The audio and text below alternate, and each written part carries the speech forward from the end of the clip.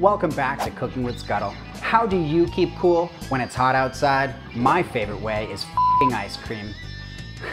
I mean, eating ice cream.